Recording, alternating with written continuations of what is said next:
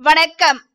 எங்கள் கதை துளி உங்கள் செவிகளின் பசிக்கு விதைத்துளி உங்கள் அனைவரையும் வரவேற்பது கதை துளி. உங்களுடன் பேசிக் கொண்டிருப்பது உங்கள் காயத்ரி தேவி முருகன். நாம் இன்று அமரர் கல்கி அவர்கள் எழுதிய பொய்மான் கரடு எனும் கதையின் பகுதி பதினாறை தான் பார்க்க போகிறோம்.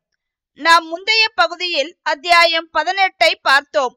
அதில் நடைபெற்ற குற்றத்தில் குமாரி பங்கஜாவின் பங்கு என்ன என்பதனை போலீஸ் கான்ஸ்டபிள் சின்னமுத்து கவுண்டர் கேட்டு அறிந்து கொள்கிறார் என்று பார்த்தோம். இனி இந்த பகுதியில் செங்கோடனின் செப்புக்குடம் யாரிடம் உள்ளது என்பதை அமரர் கல்கி அவர்களின் எழுத்து நடைக்கு உயிர் கொடுத்து கதைக்குள் வாழ்வோமா? வாருங்கள். இன்று நாம் கேட்கப் போவது அமரர் கல்கி அவர்களின் பொய்மான் கரடு. பகுதி பதினாறு. அத்தியாயம் பத்தொன்பது. மேற்படி கள்ளநோட்டு வழக்கு விஷயமாக இன்னும் இரண்டொரு துப்புகள் துளக்க வேண்டியது பாக்கி இருந்தது அதற்காக போலீஸ்காரர் கொப்பனாம்பட்டிக்கு போனார். சிவராமலிங்க கவுண்டரிடம் அவருடைய மகள் எப்பேற்பட்ட இக்கட்டில் அகப்பட்டு கொண்டிருக்கிறாள் என்பதை தெரிவித்தார். எப்படியாவது செம்பாவின் பெயர் இந்த வழக்கில் அடிபடாமல் காப்பாற்ற வேண்டும் என்று கவுண்டர் ரொம்பவும் கேட்டுக்கொண்டார் செம்பவளவள்ளி திக்பிரமை பிடித்தவள் போல் இருந்தாள்.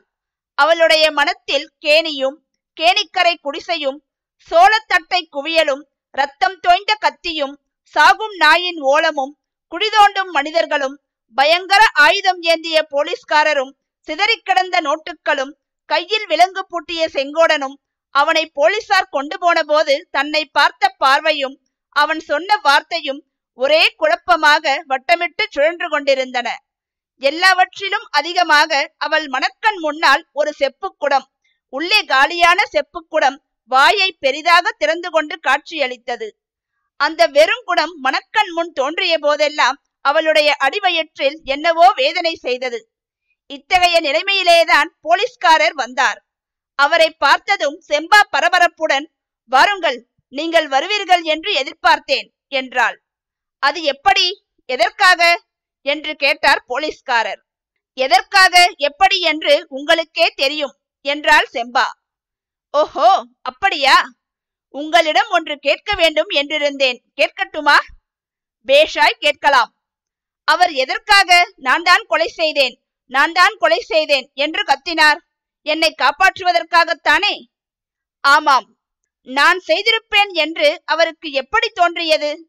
நீ குடிசையிலிருந்து வெளியேறியதை செங்கோடன் பார்த்து விட்டான் அதை தவிர இன்னொரு காரணமும் உண்டு.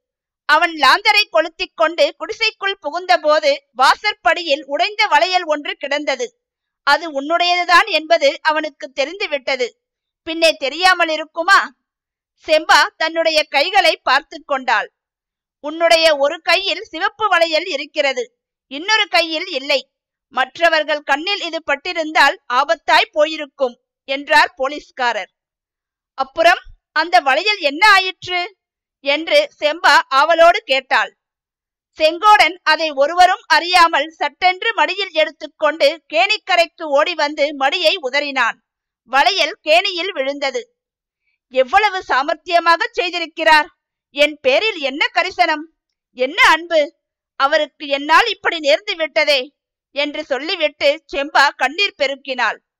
வேண்டாம் செம்பா உன் செங்கோடனுக்கு ஆபத்து ஒன்றும் வராது. அவனை விடுதலை செய்து கொண்டு வந்து சேர்க்க நான் இருக்கிறேன். வருத்தப்படாதே என்றார் போலீஸ்காரர். செம்பா போலீஸ்காரரை ஏறிட்டு பார்த்து நான் அதற்காக வருத்தப்படவில்லை. அவரை நீங்கள் காப்பாற்றி விடுவீர்கள் என்று எனக்கு தெரியும்.